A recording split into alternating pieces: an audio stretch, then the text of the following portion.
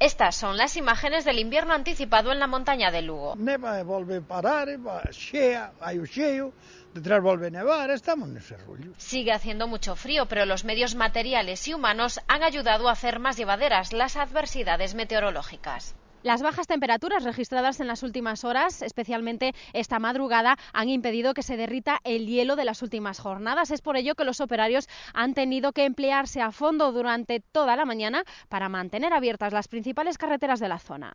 Ahora coa pira de máquinas que hai, eso non hai moitos inconvenientes. Algo teria que facer blanco, ben, digo eu. En la provincia de Lugo ha habido menos problemas con el transporte escolar. 302 alumnos frente a los 800 de ayer no han podido ir a clase. El anuncio de empeoramiento en las próximas horas no parece preocupar en exceso a los vecinos de este pueblo.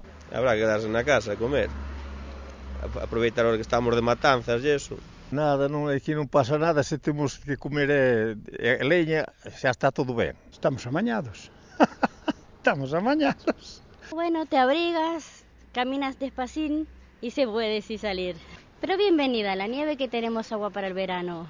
Año de nieves, año de bienes, una máxima que tienen muy en cuenta la mayoría de peregrinos y turistas que suben a disfrutar de la nieve en este puerto. La visita a esta administración es ya un clásico. La verdad nosotros no nos podemos quejar, porque yo creo que cuanto menos dinero hay, la gente más gastamos. Más gastamos en lotería para ver, a ver si toca.